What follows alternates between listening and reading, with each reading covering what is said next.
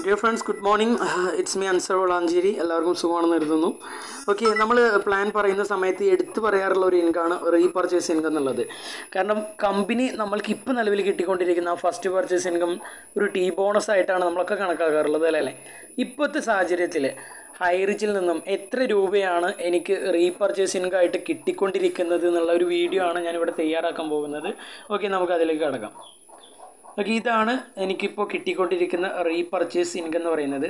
എന്റെ നാലാമത്തെ ലെവലിലുള്ള അശ്വതി രാജ് എന്ന് പറഞ്ഞ ഒരാൾ പർച്ചേസ് ചെയ്തപ്പോൾ എനിക്ക് പോയിന്റ് ഇരുപത് പൈസ കിട്ടി. പിന്നെ മൂന്നാമത്തെ ലെവലിലുള്ള ബിനോയ് ബാബു എന്ന് പറഞ്ഞ ഒരാൾ പർച്ചേസ് ചെയ്ത സമയത്ത് മൂന്ന് രൂപ തൊണ്ണൂറ്റെട്ട് പൈസ കിട്ടി.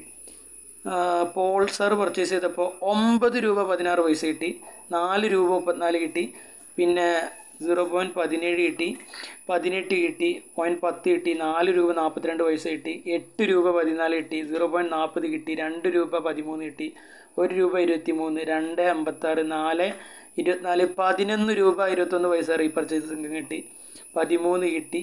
പോയിന്റ് തൊണ്ണൂറ് കിട്ടി. ഒരു രൂപ കിട്ടി. അറുപത്താറ് കിട്ടി. പോയിന്റ് പത്ത് ഒരു രൂപ ഒമ്പത് പൈസ നാൽപ്പത് പൈസ അറുപത് പൈസ ഒരു രൂപ എഴുപത് പൈസ. പോയി പോയി. നോക്കൂ സുഹൃത്തുക്കളെ ഇതാണ് റീപർച്ചേസ് ഇൻകം ഫ്യൂച്ചറിൽ നമ്മൾക്ക് അത്ഭുതപ്പെടുന്ന രീതിയിലുള്ള ഇൻകമാണ് നമുക്ക് വരാൻ പോകുന്നത്. എത്രത്തോളം കസ്റ്റമേഴ്സ് നമ്മളുടെ അടിയിലുണ്ടോ അവർ ഇതുപോലെ പർച്ചേസ് ചെയ്യുമ്പോൾ അവരുടെ ഇൻകം ഇതുപോലെ നമുക്ക് കിട്ടുന്നുള്ളതാണ് സത്യം. ഒരു ലക്ഷം കസ്റ്റമേഴ്സ് ഉണ്ടെന്നുണ്ടെങ്കിൽ നിങ്ങൾ ആലോചിച്ച് നോക്കൂ. ഒരു രൂപ കിട്ടിയാൽ പോയെ ഇതിപ്പോൾ ഒരാൾ എന്റെ കസ്റ്റമറായിട്ടുള്ള ഒരാൾ പർച്ചേസ് ചെയ്തപ്പോൾ എനിക്ക് കിട്ടിയതാണ് ഒമ്പത് രൂപ പതിനാറ് പൈസ. ഒരു ലക്ഷം കസ്റ്റമേഴ്സ് ഉണ്ടെന്നുണ്ടെങ്കിൽ ഗൈസ് ഒരു ദിവസം നമ്മുടെ വരുമാനം എന്ന് പറയുന്നത് എത്ര രൂപയാണ്? ഒമ്പത് ലക്ഷം രൂപയാണ് ഇതുപോലെ കിട്ടുകയാണെന്നുണ്ടെങ്കിൽ. ഒരു രൂപ കിട്ടിയാൽ പോലും ഒരു ലക്ഷം രൂപ കിട്ടും. കിട്ടില്ലേ? ആത്മാർത്ഥമായിട്ട് ഏറ്റെടുത്തോളൂ. നല്ലൊരു അവസരമാണ് കിട്ടിയിട്ടുള്ളത്.